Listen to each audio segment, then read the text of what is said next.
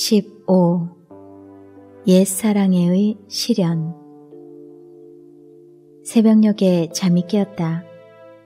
꿈속에서도 심한 두통에 시달린 것 같았고 쥐어드는 듯한 통증은 여전히 남아 있었다. 시내는 몸을 일으키려다 옆에서 곤히 잠들어 있는 남편이 깰 것만 같아 그대로 누워있기로 했다. 방 안에는 태준의 숨소리가 고르게 퍼지고 있었다. 희미한 새벽빛이 찾아들었다. 완전히 밝아지기를 기다린다는 것이 점점 자신이 없어졌다. 어렴풋이나마 어젯밤의 꿈이 생각났다. 미란이와 만났던 커피숍이었다. 남편 태준과 미란, 그리고 뒤이어 상화가 들어왔다. 세 사람은 시내에게는 관심도 없다는 듯이 무슨 얘기인지 심각하게 이야기를 했고 시내는 아무 말도 못하고 앉아만 있었다. 그런 분위기가 숨이 막힐 듯 했지만 왠지 시내는 꼼짝 못하고 앉아 있었다.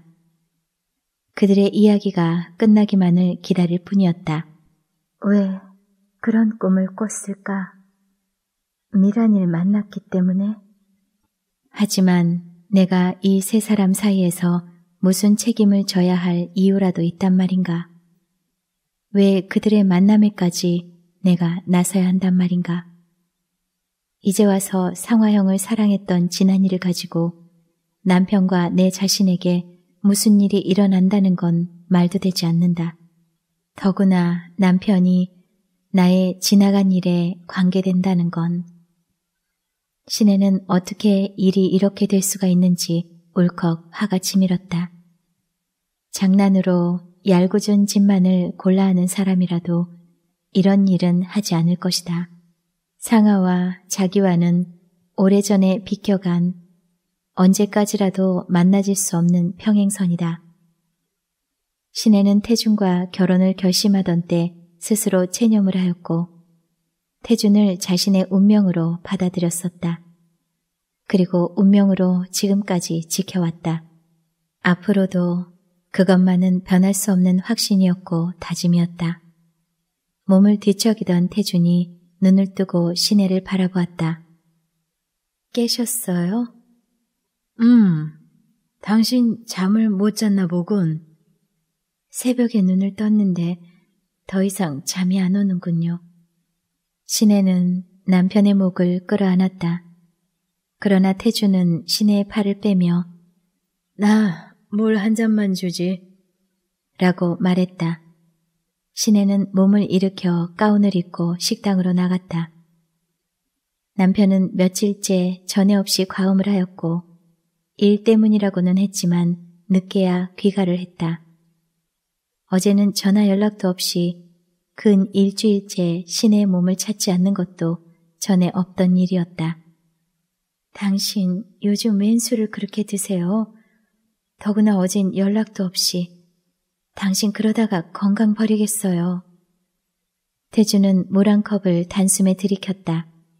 쟁반을 받쳐들고 자신을 말끄러미 쳐다보고 있는 신혜는 그에게 비워진 컵이 아니라 대답을 기다리고 있다는 듯 컵을 받은 후에도 잠시 그대로 서 있었다. 회사 일이라는 게 그렇잖아. 걱정하지 않아도 돼. 침대에서 내려와 욕실로 가면서 담담하게 태주는 대답했다. 처리해야 할 일이 있다며 일찍 남편이 출근을 하자 아이들을 유치원에 보낼 준비를 해야겠다고 2층에 있는 아이들 방으로 갔다. 큰아이와 작은아이의 자는 모습에서 신혜는 평온이란 게 무엇인지를 알 것 같았다. 아이들 방에 걸려진 부엉이 시계는 큰 눈을 동그랗게 뜨고 아직은 너무 일러요. 조금 더 자도 되겠는걸요. 라고 가슴판에 그려진 바늘을 한껏 뽐내고 있었다. 이 녀석들을 깨우려면 한바탕 씨름을 해야겠네. 어, 이건 뭐야? 작은 아이 무릎에 딱지가 앉아 있었다. 어디서 약을 구했는지 빨간색의 먹구름 자욱이 동그랗게 그려져 있었다. 도대체 어디서 이렇게 다친 거야? 이런 것도 모르고 있었다니. 시내는 바닥에 앉아서 아이들이 자는 모습을 바라보고 있었다. 자신의 생활이 달라진 것은 없었다. 그런데도 요즘 들어 아이들에게서 이렇게 작은 실수들을 발견할 때마다 시내는 당황하였고 무언가 잘못되어 가고 있다는 생각을 했다. 아니면 전에부터 잘못되어졌던 것이 이제야 나타나는 것인지도 모른다. 아이와 남편은 그녀에겐 자기 생활 못지않게 소중한 가족이었다. 어떤 일보다도 우선이었다. 물론 그림을 그린다든가 하는 자신의 생활이 남편과 아이들에게 방해가 된다고 생각한 적이 없었고, 또한 남편이나 아이들의 일도 신의 일을 힘들게 하지 않았다. 그럴 만큼 자신을 비롯하여 남편과 아이들도 서로를 위한 양보와 애정이 생활 주변 곳곳에까지 배어 있었다. 특히 남편의 힘이 제일 컸다. 신혜는 작은 아이의 상처를 만져보며 전에 없이 사소한 것에도 일종의 죄책감에 가까운 느낌이 드는 것이 못마땅했다. 일어나야지 어서. 이불을 걷고 아이를 흔들어 본다. 유치원 늦겠다. 자, 일어나. 엄마, 더 자고 싶어. 응? 어떻게든 더 자려고 투정을 부리는 아이의 엉덩이를 토닥거리며 일으켜 세웠다. 자, 세수하고 와. 착하지? 두 아이들의 등을 양손으로 감싸며 문 쪽으로 걸어 나갔다. 엄마, 유치원엔 왜 아침에만 가야 되지? 낮에나 밤에 가면 안 되나? 아직도 잠이 덜 깬 큰아이가 불평을 했다. 글쎄 말이다. 하지만 낮이나 밤에 유치원을 하면 너처럼 늦잠을 자려는 사람이 많아져서 모두 게으름뱅이가 될지도 모르잖아. 그렇지? 그래도 난 낮이나 밤에 가는 유치원이 있었으면 좋겠어, 엄마. 이 다음에 네가 커서 만들렴.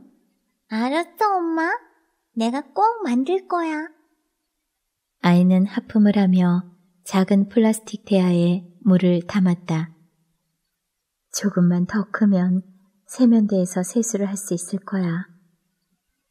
신혜는 욕조에서 대야로 물을 옮겨 담는 아이의 키를 가늠해 보았다. 투정을 부리면서도 대문을 나서는 아이의 인사소리는 낭낭했다. 엄마, 유치원 다녀오겠습니다. 그래, 잘 다녀와라. 신혜는 며칠째 가정부 손에 보내는 것이 아이들에게 미안한 마음이 들었다. 대충 집안을 정리하고 신혜는 찬물을 올려놓았다. 아침 커피는 마시는 맛보다는 찬 물이 부어지면서 나는 향기가 더욱 좋았다. 아침 커피는 보통 도자기에 세련된 잠보다는 투박하면서 원통의 큰 컵을 사용하는 게 신의 습관이었다. 화실에서 마실 때도 그랬다. 단지 남편과 차를 마실 때는 달랐다. 신혜는 커피잔을 들고 남편의 서재로 올라갔다. 태주는 하는 일에 비해 책을 좋아하고 될 수 있으면 독서 시간을 많이 가지려고 애썼다. 때문에 서재엔 의외로 상업 관계의 책보다 문학이나 철학 계통의 책이 많았다. 서재엔 남편의 채취가 가득했다. 미란인 나에게 무사한 일이라는 말을 했다. 사랑의 무사한 일 주의? 가당치도 않아. 어떻게 감히 나에게 그런 말을 할 수가 있어? 미란일 용서할 수가 없을 것 같았다. 8년 전 그 사람 앞에서 내가 느껴야 했던 절망감과 그 사람으로부터의 소외감을 제까짓게 감히 상상이라도 할 수 있단 말이야? 끝까지 기다리지 못했다는 비난을 그렇게 함부로 할 수가 있어? 하, 도대체 이게 무슨 일이지? 그이와 상화형이 만난다는 사실은 더구나 친하다는 것은 문제가 아니야. 그럼 뭐 때문에? 난 남편에게 조금이라도 지난 일을 얘기하고 싶지 않았던 거야. 떳떳지 못한 일은 없어. 그렇다고 떳떳하기 때문에 그 사람이 결혼까지도 포기한 상태가 나였느라고 남편에게 말을 하란 말인가? 미란인 상화영이 받는 상처를 생각해 보라고 했어. 결국은 내가 그에게 상처를 줄 것이라는 얘기였어. 그건 그렇지가 않아. 누가 누구에게 상처를 준단 말인가? 우린 이미 오래전에 정리가 된 사람들이야. 그가 내 남편이라는 사실을 알리면 상화형에게서 다시 사람 하나를 빼앗아 오는 꼴이 되고 말겠지. 하지만 미란인 그것을 말하는 것이 아니었어. 상화형에게 상처를 주는 것은 결국 박태준이 내 남편이라는 사실이었어. 내 남편. 신혜는 미란의 태도와 말투에서 느껴지던 자신감과 확신에 대해 화가 났다.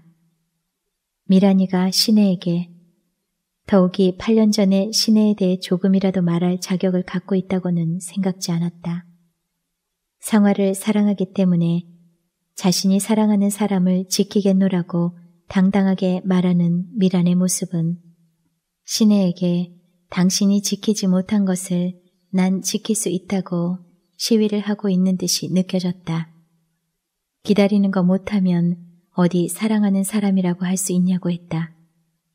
기다릴 수 없어서 선택을 했다면 그 선택에 따른 조금의 보상 정도는 하여야 하지 않느냐고 말하듯 했고 옛 남자를 찾아 화랑까지 찾아왔으면서 조금도 손해를 보지 않겠다는 그 태도는 무엇이냐고 빈정거리고 있었다. 하, 이건 아니야. 상화형은 자신의 절망 때문에 날 떠났었고 내가 채워줄 수 있는 것도 아니었어. 이제 와서 나에게 책임을 묻는 건 부당해. 남편에게 말하지 않는다고 날 비겁하다고 생각한다 해도 난 말할 수 없어. 그건 떳떳하다는 문제하고는 달라. 내 입으로 어떻게 그런 말을 한단 말인가. 상화영이 그 사실을 알았을 때 상처 받으리라는 건 지나친 비약일지도 몰라. 상화형에겐 나라는 사람은 현실에 존재하지 않아. 하지만 남편은 아니야. 난 그 사람의 아내야. 만약에 상화에게 사실을 알리면 태준을 찾아가겠다는 미란의 협박에 가까운 말이 귓속에서 윙윙거렸다. 신혜는 힘주어 커피잔을 잡았다. 손이 떨려왔다. 결론은 날 것 같지가 않았다. 계속되는 감정의 기복에 신혜는 더 이상 견딜 수가 없었다. 신혜는 거실로 내려와 수화기를 들었다.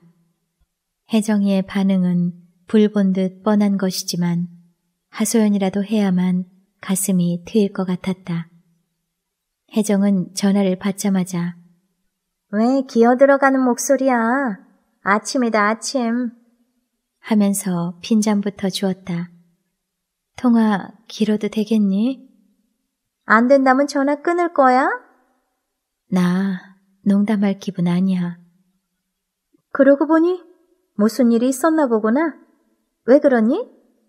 우리 그이하고 상화 형이 같은 비행기 타고 왔다는 얘기 너한테 했었지?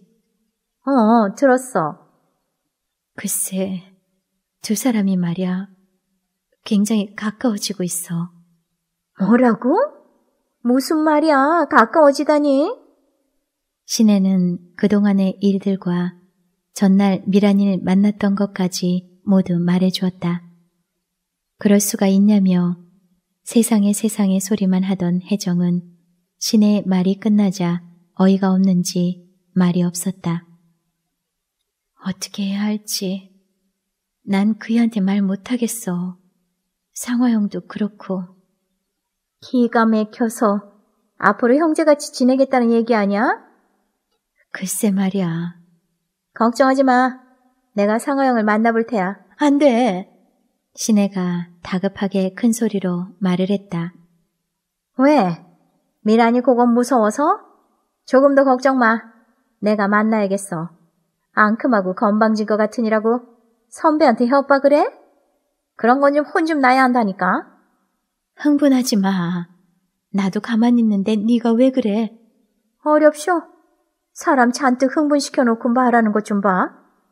네가 아무리 그래도 미란이 걔는 만날 거야. 걔도 참 한심하다. 여태까지 버티다가 겨우 유상화야? 그 미적지근한 인간 실컷 사랑하라고 해라. 아니 그 유상화도 곱게 있다 갈 일이지. 전생에 너하고 무슨 원수졌다니? 정말 웃기는 인간이네. 그렇게 말할 거야 뭐 있어? 내 남편인 줄 모르고 만나는 건데 상화형 잘못이 아니지. 아유 답답해. 넌 참 속도 좋다. 그렇게 태평이면서 나한테는 뭐하러 얘기를 해? 내가 해결해 줄게. 걱정 마라. 네가 아무리 말려도 난 못 참아. 전화 끊는다. 16. 짝사랑 오랜만에 붓을 들었다. 미라는 사각의 캔버스를 마주하고 앉아 거실의 시계가 새벽 3시를 지나는 소리를 들었다. 그러나 흰색의 캔버스는 텅 빈 채 그대로였다.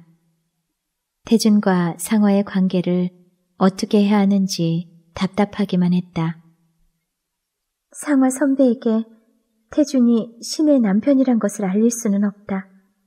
그렇다면 무슨 이유를 들어 두 사람이 더 이상 만나지 못하도록 할까? 적어도 신의 태준, 상화 선배, 이 세 사람이 함께 알게 되는 일은 없어야 한다. 미란이 이 문제에서 가장 답답한 것은 아직은 어떤 조치를 취하기에는 상화에게 있어서 자신의 위치가 불확실하다는 것이었다. 그는 날 후배로만 생각하고 있는데 후배라는 관계가 그 세 사람의 관계에 끼어들 수 있는 위치는 아니지 않는가. 신혜에게 어떻게 하든 상화만을 자기 힘으로 지켜내겠다고 말하고 온 것을 후회하지 않지만 쉽게 행동 방식이 찾아지는 것도 아니었다. 미라는 이젤 앞을 떠나 작업방 한쪽에 놓인 작은 안락 의자에 몸을 기대었다. 그녀에겐 사랑한다는 것이 언제나 특별한 일이었고 지금까지 지켜왔던 자신의 한 부분을 부수는 작업이 있어야 했다. 그리고 그녀를 괴롭히는 아버지에 대한 분노와 어머니의 한 맺힌 시간들이 있었다. 이런 일들로 인해 사랑이나 결혼은 아예 자신과는 무관한 세계로 외면하라고 했었는지도 모른다. 그럼으로써 어머니의 아픔을 지켜봐야 하는 자신의 고통을 감소시키려 했었을 것이다. 그것만이 어머니와 자신에게 남겨졌던 부당한 시간들과 그녀의 아버지, 운명이라면 운명이라는 것에까지 복수를 하는 것이라고 믿었던 것이다. 미란인 아무도 받아들일 준비가 되어 있지 않았다. 이런 미란에게 다가선 남자는 보호와 따뜻한 치유를 베풀기보다는 오히려 그녀에게 더 춥고 스스로를 가두어 두고 있었다. 미라는 그의 외로움과 절망을 알려고 하기보다는 이미 그녀의 마음에서 울려 나오는 그를 향한 외침을 겸허하게 받아들였고 그 승복에 충실하기 위해 그녀와 그녀의 어머니를 지키고 있던 벽을 상화를 향해 아낌없이 허물었다. 내가 그에게 무엇을 해주겠다고는 하지 말자.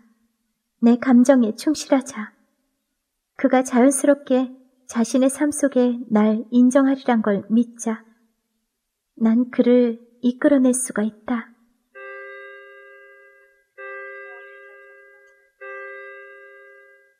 미라는 잠결에 정시를 알리는 시계 소리를 따라 하나, 둘, 셋, 넷, 다섯 가지 세었던 것 같다. 몸이 여기저기 결리는 걸 느끼며 미라는 의자에게 쪼그리고 있던 몸을 일으켰다. 가만히 문을 열고 작은 보조등이 희미하게 비추고 있는 거실로 나갔다. 시침은 다섯 시가 아니라 여섯 시를 가리키고 있었다. 커피포트를 꽂아두고는 소리나지 않게 조심하여 커피잔을 꺼내는데 안방문이 열리는 소리가 들렸다. 어머니는 벌써 일어난 듯 머리는 단정히 빗질 되었으며 잠옷 차림도 아니었다. 엄마, 나 때문에 깨신 거 아니에요? 아니다. 벌써 일어났어. 나이 들면 새벽 잠이 없다는데. 미라는 이런 생각을 해서인지 아침인데도 어머니가 기력이 없어 보인다. 엄마, 요즘 어디 불편하신 거 아니에요? 아니, 아무렇지도 않다. 왜? 잠을 통 못 주무시는 것 같아서요. 글쎄 말이다. 이제 늙나보다. 힘없이 말하는 어머니의 쓸쓸한 표정에 미라는 눈시울이 뜨거워짐을 느끼며 등을 돌려 이제 막 끓기 시작하는 커피포트의 뚜껑을 괜히 열어본다.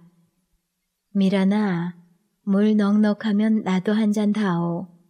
안 돼요. 빈속에 커피 드시면.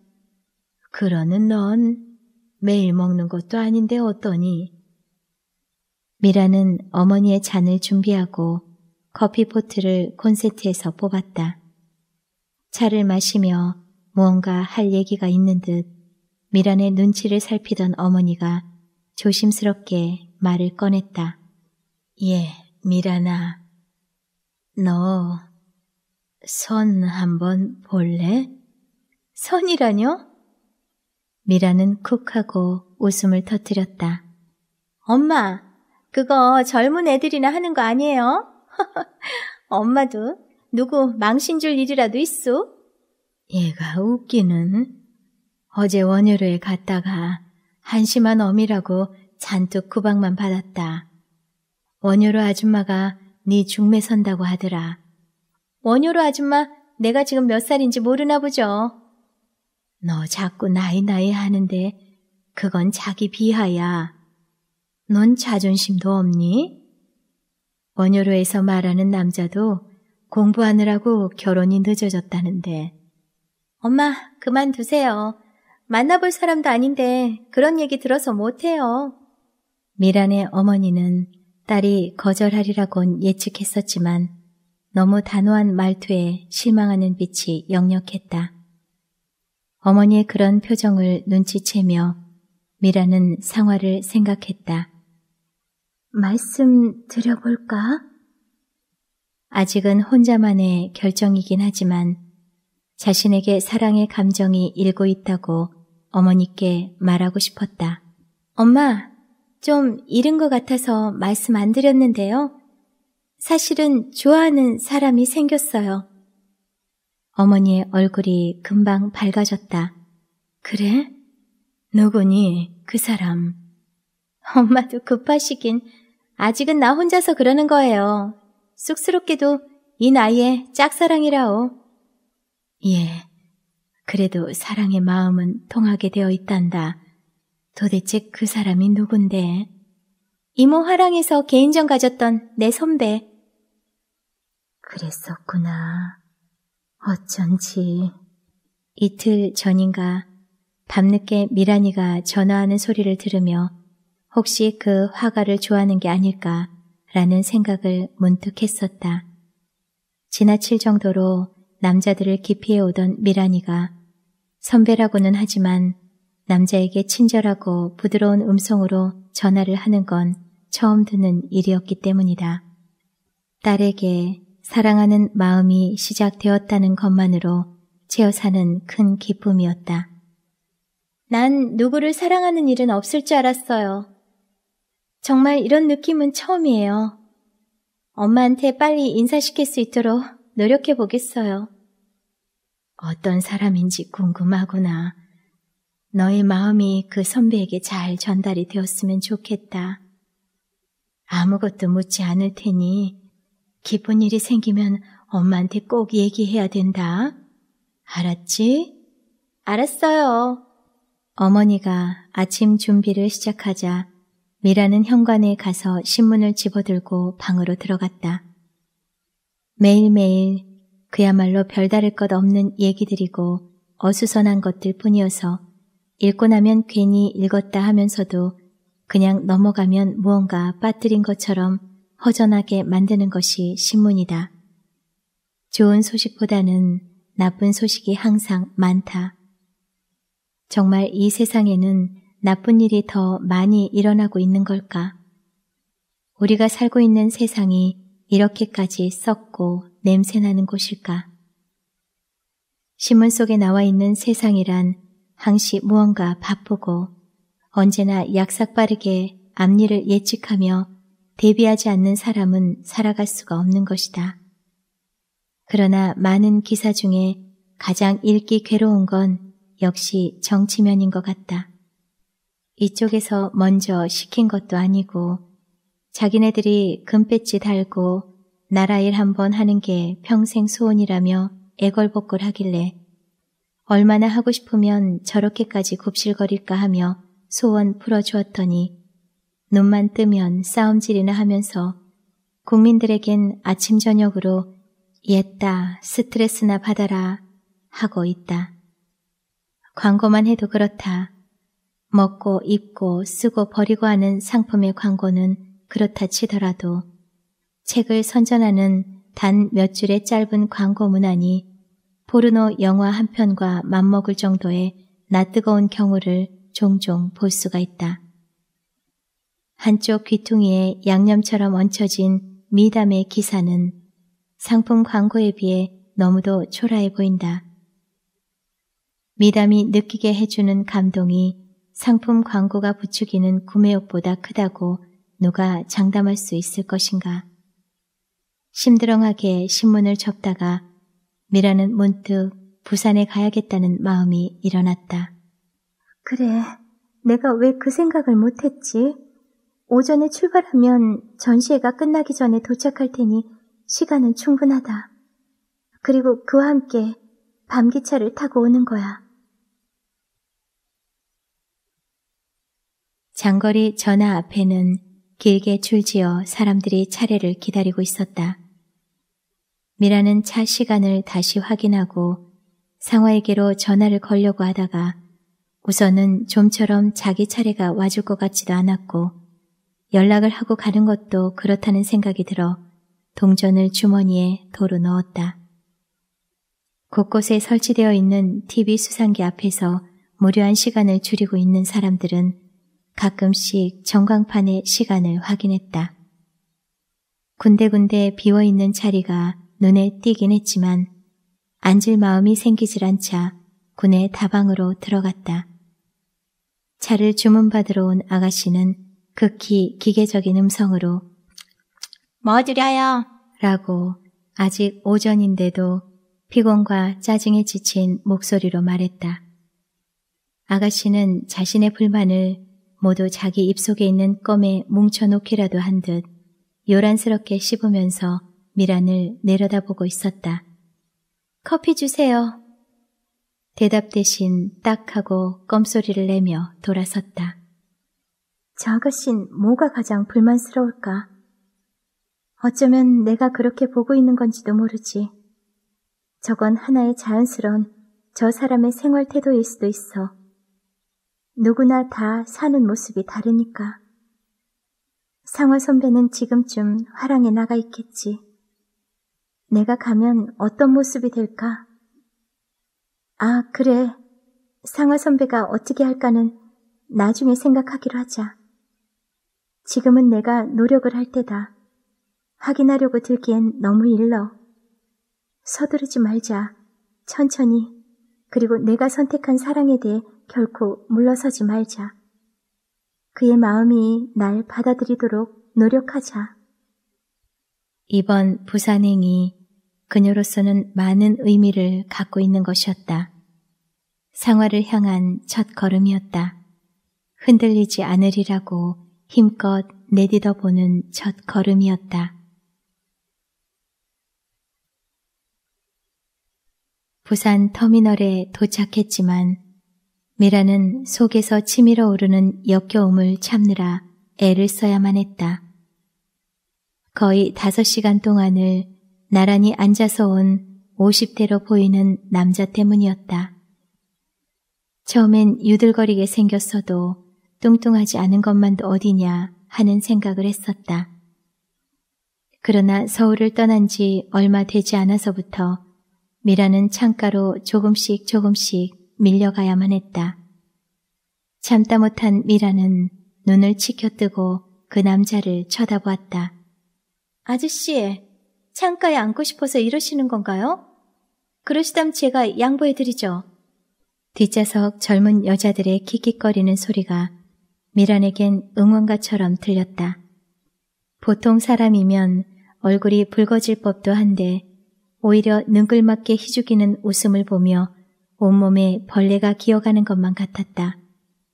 금강 휴게소에서 미라는 의자 사이에 핸드백을 끼워 놓았지만 이번엔 어깨 공격이었다. 어쩌다 자기를 힐끔거리는 남자를 의식하며 미라는 부산에 도착할 때까지 오직 한 가지만을 생각했다. 인간이 어디까지 저질스러울 수 있는지 그 한계점을 보여주고 있군. 이런 부류들을 지구에서 영원히 소멸시키는 방법은 없을까?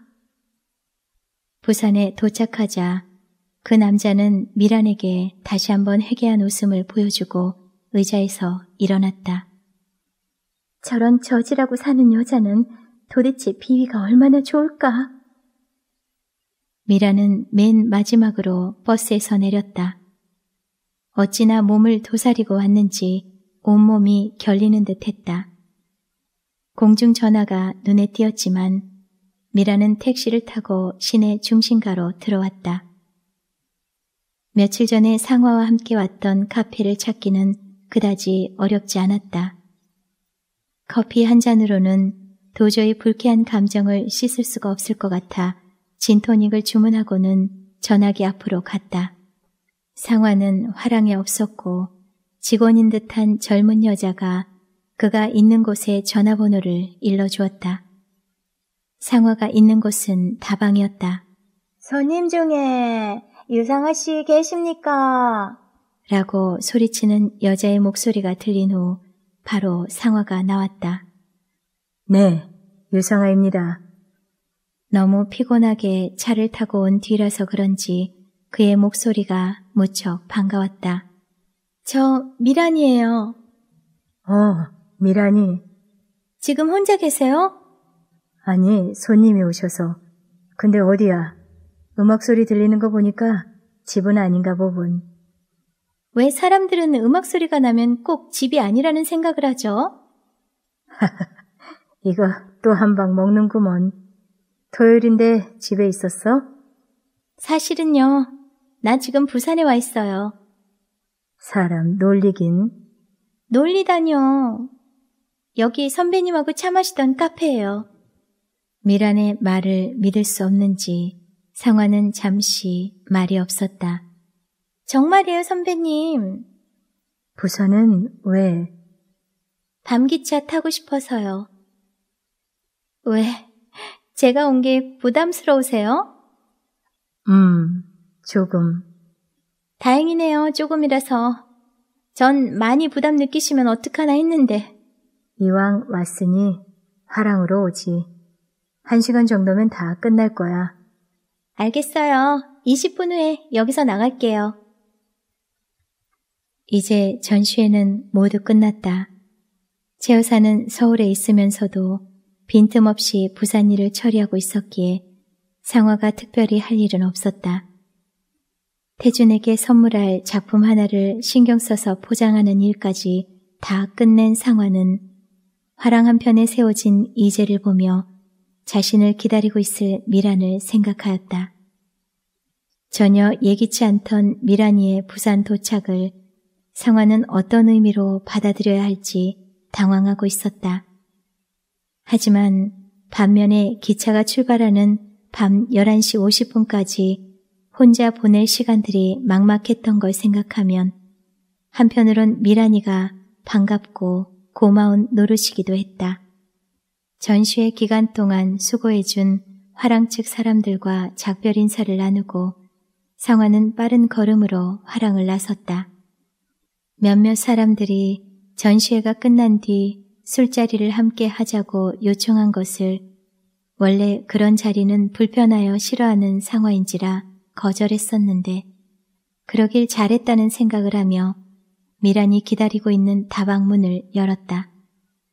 실내 한가운데에 설치해 놓은 어항 속의 열대어들을 보고 있던 미라는 상화가 테이블 앞에 서자 깜짝 놀라 고개를 들었다. 기다리기 지루했지? 아니요. 생각보다 일찍 오셨군요. 이젠 다 끝나셨어요? 음, 완전히 끝났어. 피곤하시겠어요. 부드러운 미소를 지으며 미라는 나직이 말을 하였다. 미란인 도무지 감을 잡을 수가 없는 여자라고 상화는 생각했다.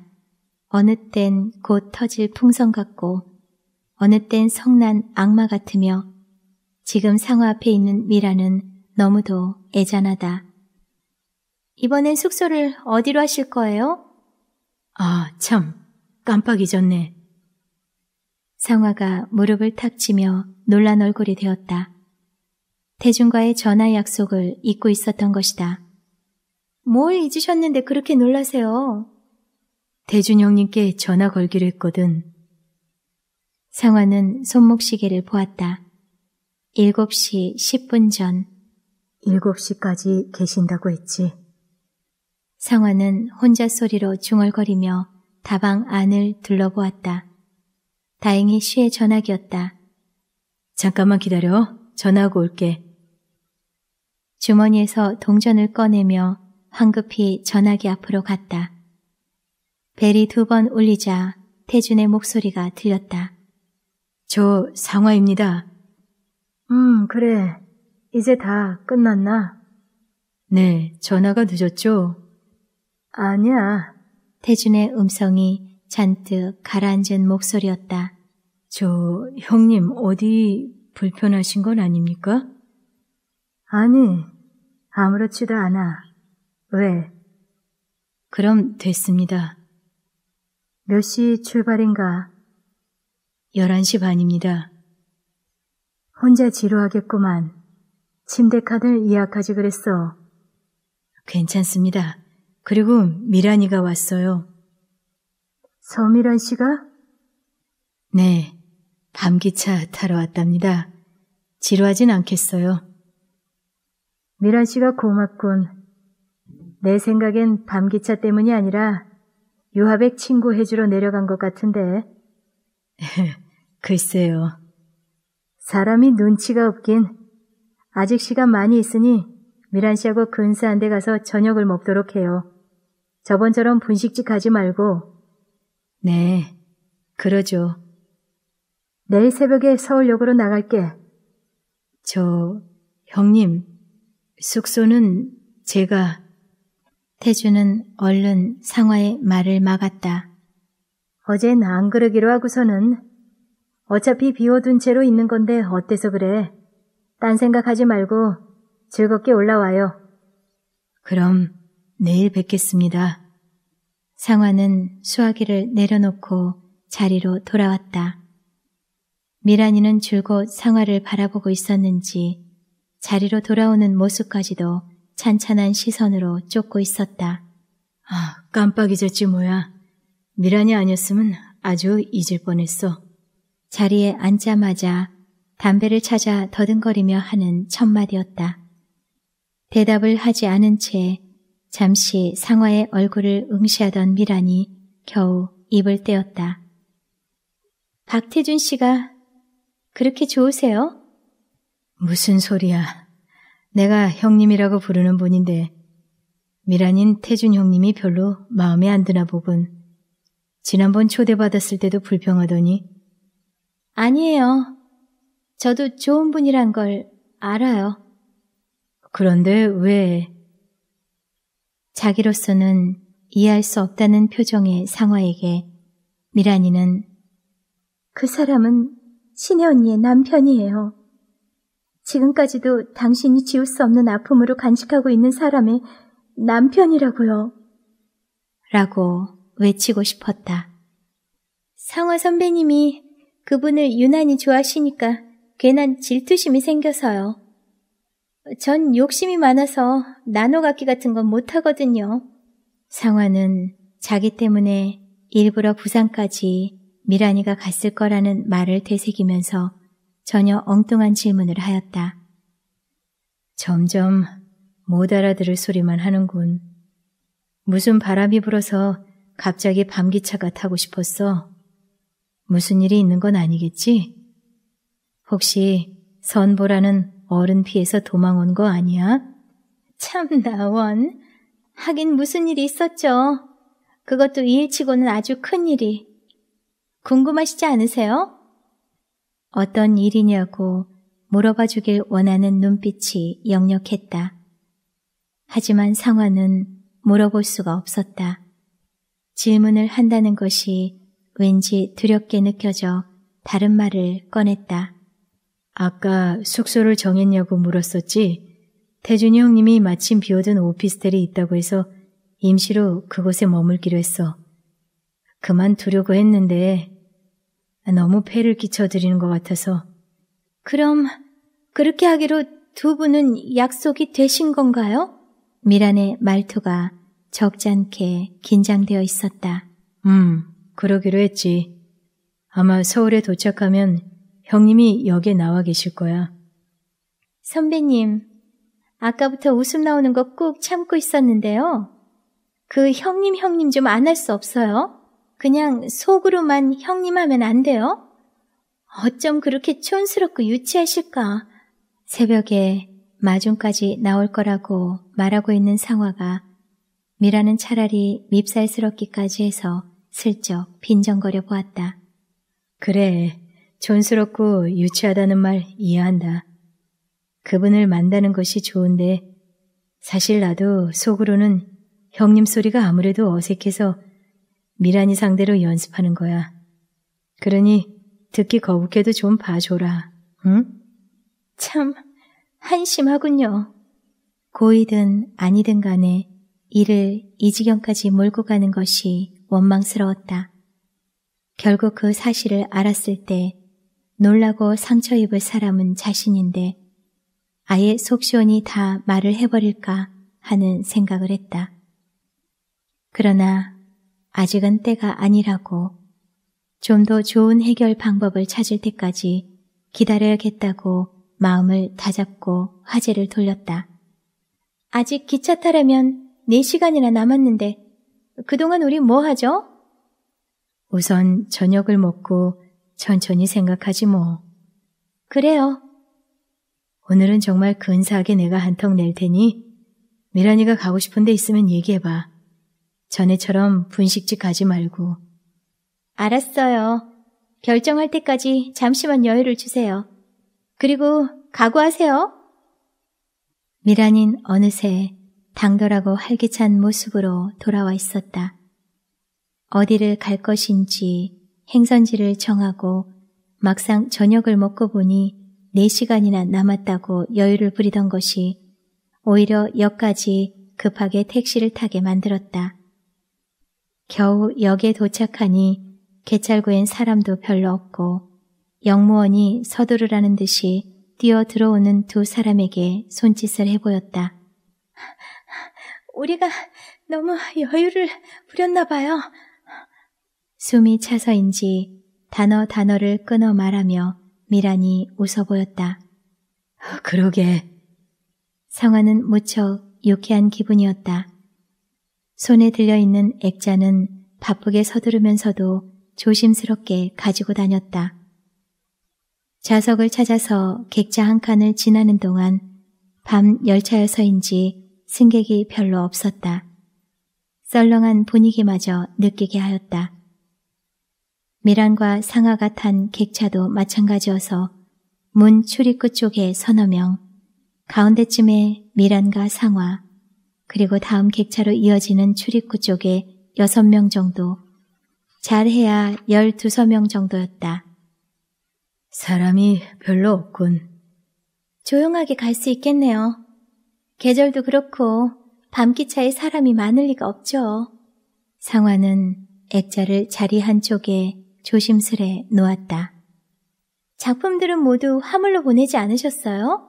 아, 이거 형님 드리려고 따로 포장을 했어. 내가 직접 갖다 드리고 싶어서 챙겨두었지. 어떤 그림인지 저도 보고 싶네요. 사실 어떤 것을 드려야 할지 무척 망설였다고. 미란이가 좀 일찍 도착했으면 고르는데 도움이 됐을 텐데. 그건 모르죠.